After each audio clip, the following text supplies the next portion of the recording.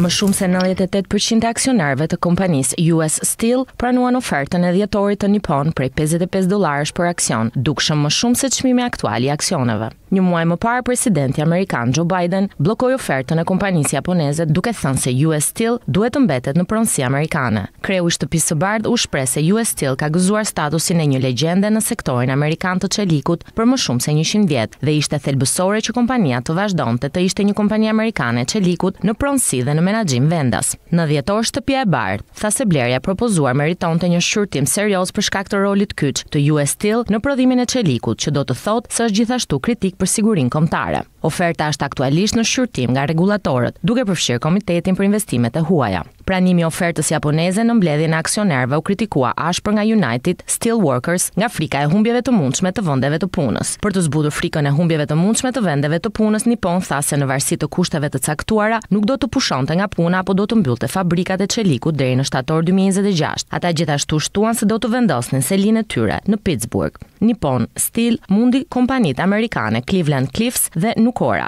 dhe ArcelorMittal me selinë në Luksemburg në garën për të blerë US Steel. Nga ana tjetër Biden tha se ai ende qëndron në krah të sindikatave në çështjen e blerjes së një prodhuesi vendas të çelikut.